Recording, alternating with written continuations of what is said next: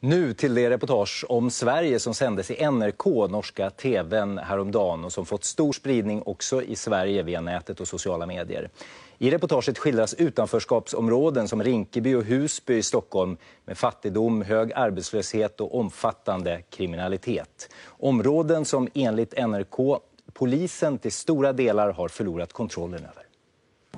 En svensk politipatrulje på väg in mot en av Stockholms mest belastade förstäder.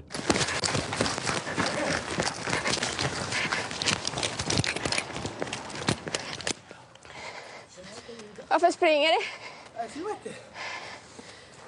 Vart kommer du? Eh, Vi fick ju ett larm om att det står ett gäng ungdomar eh, och kastar sten och glas eh, mot en skola. Eh, Och de är alla under 15.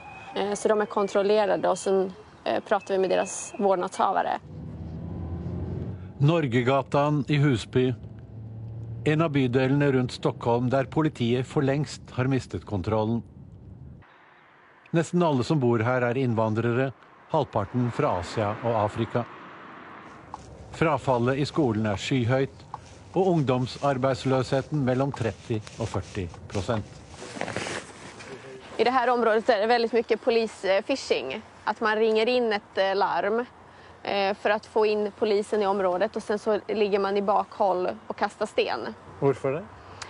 Man är missnöjd eh, med samhället och vi representerar samhället. Det høres nesten ut som en krigssone. Ja, alltså krigszon skulle jag väl inte beskriva det men det är klart att de kriminella de börjar bli mer och mer rustade. Mahmoud Aldebe tar oss med til Rinkeby torg. Han syns ikke at politiet gjør nok. Faktiskt, de, de vågar inte liksom, eh, ta steget faktiskt vara lite hårdare mot eh, gängen som sprider de här droger i, i förorten. Du syns det burde være strengere? De borde vara det. Senaste tiden hör vi varje dag liksom att eh, någon blir skjut, eller skjuten ah, med vapen och så vidare. Det här är en typ av maffia som bildas faktiskt i förorter. Vi går inn til T-banen. Plutselig suser en svær stein gjennom lufta og treffer en av vekterne. Ja, det tog och en sten träffar mig nu. Dette er den andre steinen som kastes mot ordensvaktene i løpet av fem minutter. Ja, det är ett territorium det handlar om. Det är bara så. Politiet får melding om narkotikasalg i en garasjekjeller.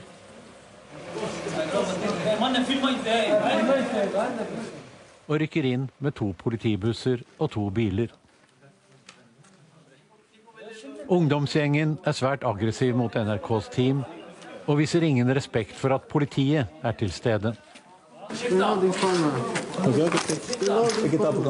Titta, titta, stick härifrån. Kim, han filmar mig. Kolla vad han kommer med. Han vill lägga upp oss i Aftonbladet va.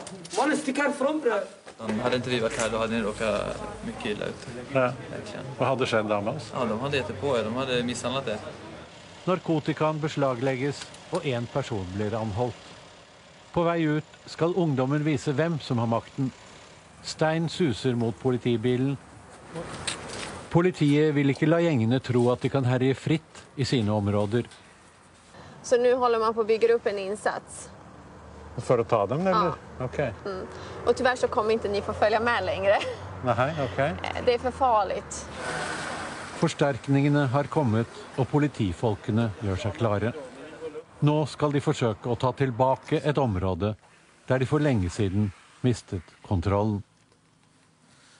En del ur NRKs reportage från i söndags. Hur väl stämmer den här bilden av svenska utsatta områden och vad är förklaringen till de problem som skildras här? Det ska två personer diskutera. Nationalekonomen Tino Sanandaji, eh, flitig debattör i migrations och integrationsfrågor. Välkommen hit. Och Lisa Pelling som är statsvetare och utredningschef på eh, den vänsterorienterade tankesmedjan Arena Idé. Välkommen du också. Tack så mycket. Eh, Lisa Pelle, om jag börjar med det. Vad säger du om den bild som eh, ges av eh, de här områdena i det här reportaget? Det är en väldigt upprörande bild. Eh, men jag skulle vilja hävda samtidigt att det här är bara en bild av förorterna. Det bor nästan 100 000 människor kring Järvafältet i, i Stockholm. De allra flesta av dem är vanliga människor som går till jobbet på morgonen, hjälper sina unga med läxorna på kvällen, går ut och promenerar med hunden. Så jag tror att många av dem inte känner igen sig i den här bilden. Samtidigt är det en falsk måste... bild? Nej, den är inte falsk. Den måste visas. Det är väldigt upprörande. Det är självklart att inte poliser ska mötas av den här eh, typen av stenkastning eller den här typen av hot när man är ute i området. Det som jag tror är viktigast är dock att de här ungdomarna ska inte bara möta engagerade vuxna i form av poliser. De måste möta mycket fler engagerade vuxna inom socialtjänsten, som fritidspedagoger, som mer personal i, i skolan. Där, där har vi en stor utmaning. Tino Sanadaji, vad säger du om bilden som ges? Bilden är korrekt. Det chockerar säkert många att se det här. Men eh, det är ingen att man försöker svartmåla. Det är helt enkelt att man visar en mörk verklighet. Jag tror att, om jag förstår det hela rätt, norrmännen var där två dagar. Det, här, det handlar inte om att de åkte dit och tog hundra reportage. Det här hände första kvällen de åkte med polisen. Och det här reflekteras i officiell statistik i Rinkeby, som du säger. Det här är små områden. Rinkeby är 15 000 ungefär och Husby, Tensta. Rinkeby är 30 fall av stenkastning mot polisen i år. Vi ska säga också bara att du, du var, eh, var med i det här reportaget. Vi har klippt ur det här NRK-reportaget. Du var med i reportaget, blev intervjuad och ni blev bortkörda då av maskerade män från ett café här. Men det här är inte hela bilden, säger eh, Lisa Pelling.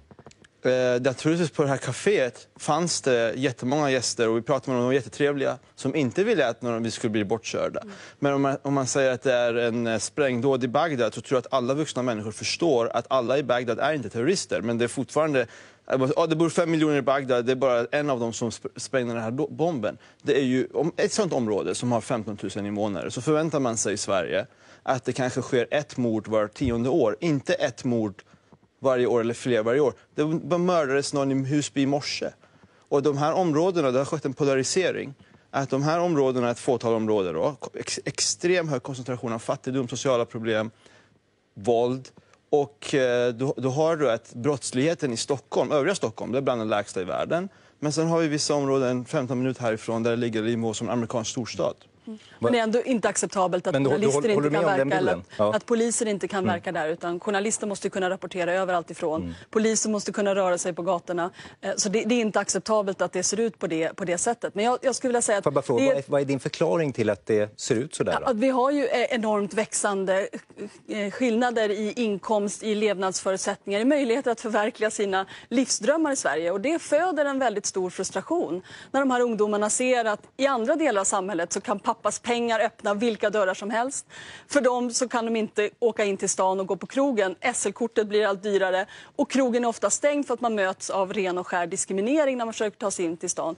Och de vet ju att den här typen av reportage tyvärr förstärker den bilden i, det omgivande samhället av att ungdomar från förorten är farliga, inte personer som man vill släppa in på inneställena, inte personer som man vill släppa in på universiteten eller som arbetsgivare är intresserade av att rekrytera. Och det, det är ju då, förstärker ju då utanförskapet och det gör så det här reportage problematiska. Det är ju inte reportaget som skapar bilden, det var ju ungdomarnas agerande. Hade de inte velat, det handlar inte om Husby, den reportage som de gör med mig. Vi skulle prata generellt om situationen i Sverige, utan att de sen på några minuter angriper en norsk kamerateam som själva påstår att de aldrig varit med om det här någonsin. Jag har inte varit med om det heller. Det är klart att de här, det, det agerandet som ska vara bilden, och bilden om den är korrekt, löser man ju inte genom att sopa den under mattan. Men ser du någon risk att, det här, att den här typen av reportage stigmatiserar hela områden, att eh, ungdomar där känner att eh, folk ser på oss ändå på ett visst sätt som kriminella allihopa. Stigmatiseringen reflekterar den verkligheten. Och visst, de här reportagen kommer att växa. För nu vet utländska, det här är inte första gången, men nu vet utländska kamerateam att du kan i princip beställa eh, dramatiska bilder genom åk dit och så filmar du reaktionerna på att du dyker upp. Notera dock, det är inte bara kameramän man agerar så här mot. Man har kastat sten mot, i Tensta och Rinkeby, mot brand, brandkåren, mot ambulanser, mot polisen på numera nästan systematisk basis. Ja, och det är, och det är ett fåtal som gör det. Mm. Och det här fåtalet människor, det som drabbas är inte jag som åker dit en gång på min, mm. i min livstid kanske och blir mm. utsatt för det här. Det är de som bor där mm. varje dag och så är det en skräck... De börjar får, får jag bara fråga, vad, vad, vad, säger du om Lisa Pellings beskrivning här och vad som är orsakerna till till det här? Några av det som hon sa är korrekt om diskriminering, men när man ska säga allmän ojämlikhet så är det omöjligen förklaringen. För att det här, priset för SL-kort har ökat för alla. Och det finns fattigdom i övriga samhället och det fanns fattigdom i Sverige för 50 år sedan. Då kastar man inte sten och attackerar polisen någonsin. Fast har inte det finns- klyftorna ökat och de här fattiga områdena blivit relativt ännu fattigare? Klyftorna har naturligtvis ökat, men klyftorna har också ökat överlag i samhället utan att man ser det här. Utan det här ser man i vissa områden där det finns en subkultur. En kriminell subkultur ofta, det finns en ideologisk syn på det här att man känner, man, man känner bitterhet, som är, och det har de rätt att göra.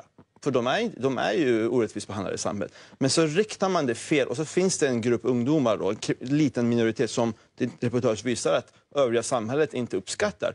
De anv- använder den här legitimeringen för att ursäkta det här och var- varför de inte vill ha polisen där, eller kamerorna. För att de vill skydda sin kriminella verksamhet. Det är droghandel det handlar om. Det finns absolut vad element av, av detta, att det, det skapas kriminella subkulturer. Det finns en särskild dynamik när man koncentrerar väldigt fattiga, väldigt utsatta människor i en väldigt hopplös situation i ett, ett trångt område. Det, det finns en särskild dynamik i det. Eh, samtidigt så, så skulle man ju vilja prata mer om vad som är lösningen på det här. Och då är det inte enbart polisen. Polisen behövs, de gör ett jätteviktigt arbete. Men de skriver själva i sin rapport som det här reportaget hänvisar till att det som är utmärkande för de här områdena är att det krävs agerande av många, många fler samhällsaktörer. De här ungdomarna måste mötas av en skola som rustar dem med självförtroende att ta vilken utbildning som helst på vilken högskola som helst och inte trycker ner dem i skorna och får dem att känna att Men har det inte satsats på skolor i de här områdena? Nej, inte, inte alls tillräckligt mycket. Och vi har sänkt skatten med 140 miljarder under de senaste åren. Vi har enorma resurser i det här samhället som vi skulle kunna investera och det gör vi inte. Och jag tycker att det är slående med de här reportagen, det brukar de internationella tv-teamen också ta upp, att det är inga hål i gatan. Fasaderna ser rätt okej ut. Infrastrukturen, den som är byggd i betong, den är okej. Men den sociala infrastrukturen, den håller på att krackelera. Vad, vad ser du för lösning? Eh, så att de har satsat väldigt mycket pengar. Just de här områdena har ju fått mycket mer resurser per invånare än övriga Sverige. Men det, det måste ske en interaktion. Va? Det vill säga att så länge det, det här finns det här polisiära, att det, det inte råder lag och ordning. Och det, är för, det är inte bara NRK som säger det är polisen som intervjuas som säger Mm. vi förlorar kontrollen. Då kommer inte de här övriga lösningarna som jag tror Men du har vad rätt menar i. du med interaktion? Vad... Jag menar, det vill säga att det är ingen idé att satsa massa pengar på eh, för en del skolor eller jobb så länge det finns extremt kriminella problem. Så företagen inte vill inte vara där, människor vill inte bo där. Så de flyttar Så omedelbart mer därifrån. polisiära satsningar? Ja, Ja, polisen en måste återta. Ja. Ja, precis. Man kan inte Polisen säga måste- antingen polis Jag eller sa ju sociala både instanser. och. Man måste göra både. Jag sa ju ja, både precis. Och där får vi dra streck. Stort tack båda två för att ni Tack kom så hemskt hit. mycket. Tack.